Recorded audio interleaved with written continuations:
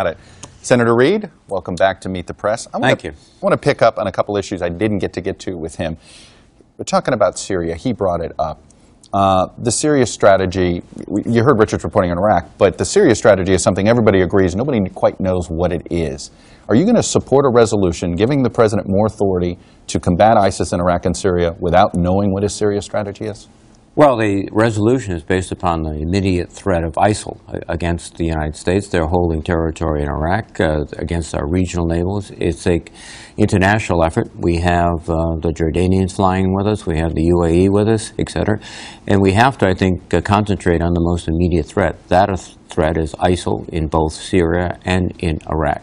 And that's what the authority is requested for. You don't think you have to outline of how you, you know, what, what, okay, you get rid of ISIS, that's fine. What's going to, what, something will replace it in Syria that's probably not going to be friendly to the United States. What we're trying to do, and this is very challenging, uh, is to develop an alternative to the, the radical jihadist in Syria, and that is the Free Syrian Army.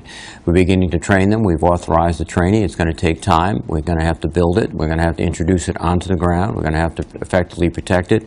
And hopefully, uh, that will be the, the nucleus for uh, moderate forces to begin to turn the tide in Syria. It's going to take a much longer time.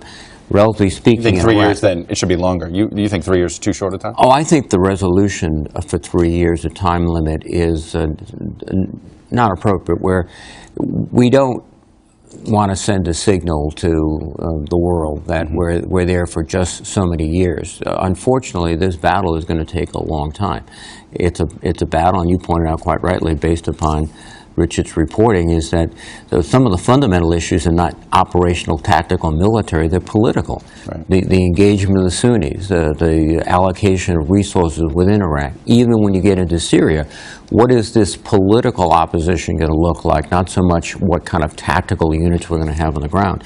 So this is not the months. I think we'd be better off having a resolution that did not have a specific time limit. I do think, though, it does make sense to indicate very strongly that our engagement would be limited in terms of American military personnel. Um, and that, I think, is included within the resolution.